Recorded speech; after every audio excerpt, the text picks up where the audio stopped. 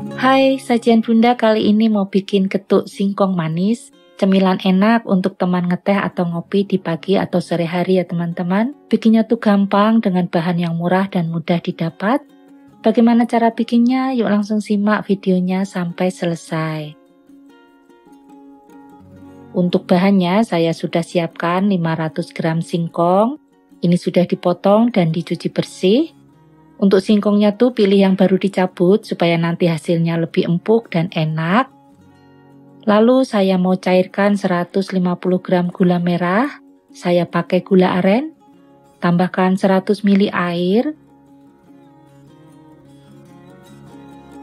Supaya lebih wangi, saya tambahkan satu lembar daun pandan.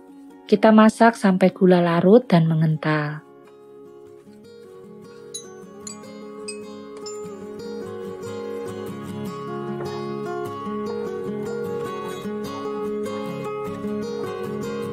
Saya mau tambahkan juga setengah sendok teh vanili bubuk supaya nanti aromanya lebih harum lagi. Aduk-aduk supaya rata. Kalau gulanya sudah cair dan mengental seperti ini, kita bisa matikan apinya.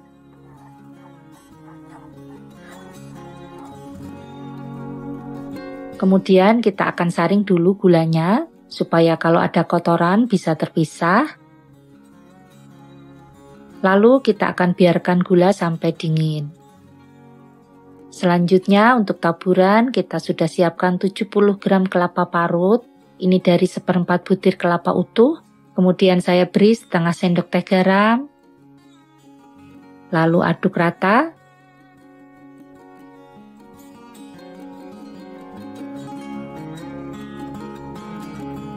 Supaya lebih harum, tambahkan satu lembar daun pandan Kemudian kita kukus kelapa kurang lebih 5-10 menit.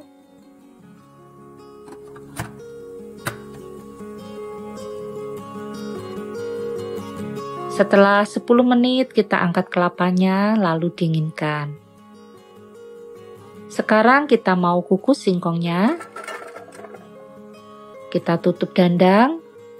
Kemudian kita kukus singkong sampai empuk dan matang.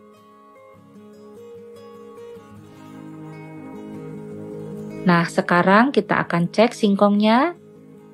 Ini singkongnya sudah empuk dan matang, lalu kita bisa matikan apinya.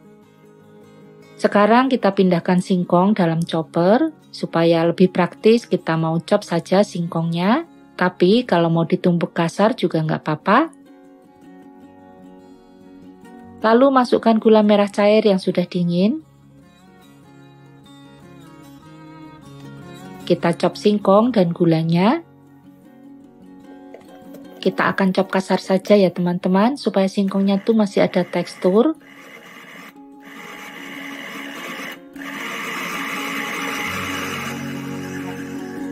Nah, seperti ini hasilnya, getuk singkong manisnya sudah jadi.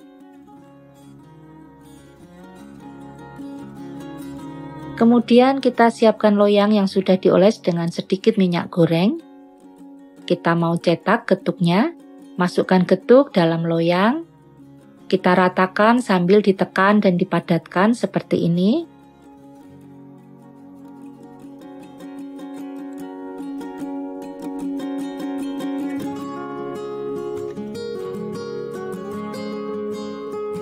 Nah, hasilnya seperti ini, lalu kita akan tunggu sampai getuknya ini benar-benar dingin.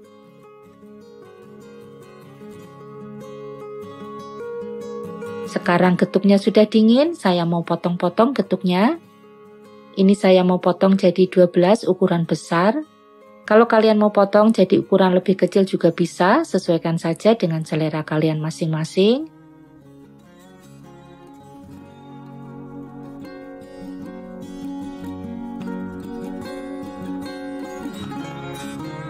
Ini getuk yang sudah kita potong-potong. Kita akan pindahkan dan tata dalam piring, lalu kita beri taburan kelapa kukus.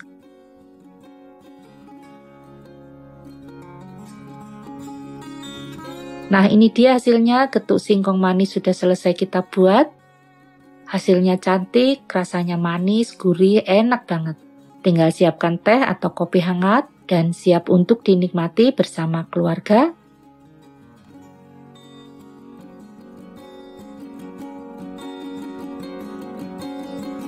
Oke, bagi teman-teman yang masih bingung hari ini mau bikin cemilan apa, silahkan dicoba resep ini.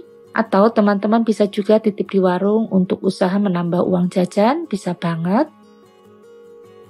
Untuk bahan lengkap sudah ada di deskripsi, teman-teman bisa cek. Semoga bermanfaat, sampai jumpa di video berikutnya and happy cooking!